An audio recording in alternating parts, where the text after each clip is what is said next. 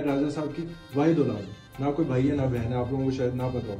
काफ़ी लोगों को। अकलौता बेटा हूँ और आप लोगों के बीच में खड़ा हूँ। कोई डर नहीं है, कोई खौफ नहीं है। जो होगा, सबसे पहले मैं आगे हूँ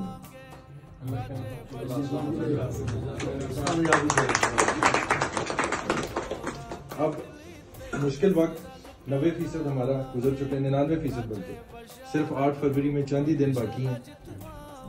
कप्तान हमारा हमेशा कहता था कि जी मैं आखिरी गेंद तक खेलूँगा आखिरी बॉल तक खेलूँगा। मेरे ख्याल से आखिरी बॉल जो है आठ फरवरी वाले दिन। है और ये बॉल अब अपने कप्तान के लिए आप लोगों ने खेलनी मुझे पूरा यकीन है लेकिन अब वो वक्त आ गया मेरे ख्याल से। मैं आप लोगों के बीच में हूँ। इन लोगों ने पूरी कोशिश की कि यहाँ पे हमें डराया जाए।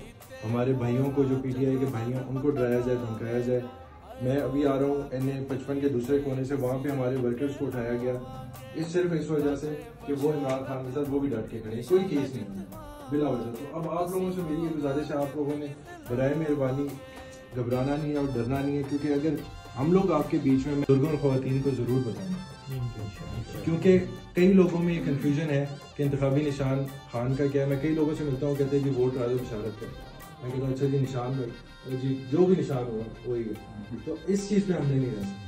ना ही हमने ये सोचना है कि जी हमारा वोट बैंक पीटीआई का बहुत ज़्यादा है राजा बिशारत साहब ने यहाँ पे रिकॉर्ड तरक्याती काम कराए हैं जी हम जीत जाएँगे। इस चीज़ पे आपने नहीं रहना घर घर का लोगों हल हो गया।